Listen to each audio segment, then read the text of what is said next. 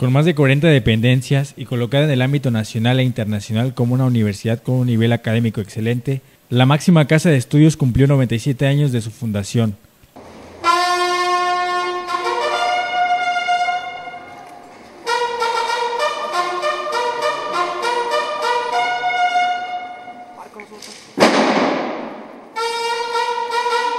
En el acto protocolario, Sergio García Ávila, director del Centro de Estudios sobre la Cultura Nicolaita, refirió que la universidad ha dado muestras de contar con un alto prestigio, además de ser un proyecto de vocación social para la comunidad con sentido humanista.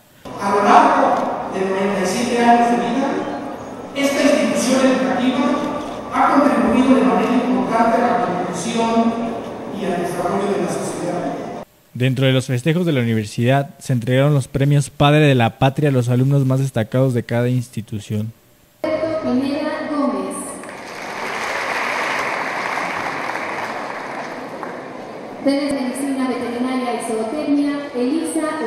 La ceremonia fue encabezada por el gobernador de Michoacán, Salvador Jara Guerrero, así como de ex rectores de la universidad.